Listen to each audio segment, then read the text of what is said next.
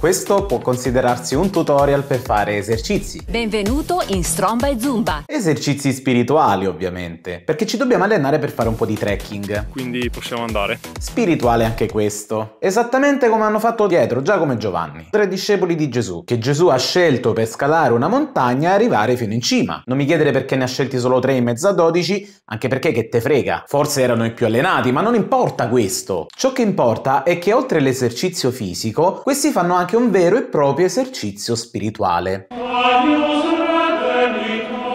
Che poi è l'esercizio che ogni cristiano dovrebbe fare per incontrare Dio. E come si fa questo esercizio? Molto semplice, in tre tempi, ovvero sia l'ascesa al monte, la contemplazione del suo volto e di nuovo la discesa. Pare facile, ma partiamo dall'inizio. L'ascesa. Sembra che tocca solo salire, ma in realtà che cos'è l'ascesi cristiana? Quel momento in cui ti stacchi da tutto e da tutti e vai verso l'alto, il più possibile vicino a Dio. E ti pare facile, ma non lo è. Infatti prova ad allontanarti da tutte le cose a cui tieni di più e vedrai la faticaccia. Non è un caso se i tre discepoli quando arriveranno in cima saranno talmente stanchi che non ce la faranno a restare svegli. Ed è lì che accade il secondo momento, che li risveglia. Gesù cambia aspetto, si trasfigura. Ma che significa che era un'altra persona? No, era sempre lo stesso, solo che si mostra nella sua vera identità. Perché sotto il monte i discepoli, stando nel mondo, avevano un'immagine un po' troppo umana di Gesù, un Gesù secondo le nostre categorie. Però lui è comunque sempre Dio e Dio non usa le nostre categorie. Ed è così che funziona quando ti stacchi da tutto. L'immagine distorta che hai di Dio si purifica e tu lo vedi veramente per quello che è. E non solo, accanto a Gesù si presentano anche Mosè ed Elia, simboli della legge e della profezia. E tu guardi sotto un'altra ottica anche quello. I comandamenti non ti sembrano più un ostacolo che blocca continuamente il tuo cammino, ma una via per camminare dritti. E la profezia non è più soltanto qualcosa per pochi, perché ti ricordi che anche tu sei investito di questa grazia senza che te lo meritavi.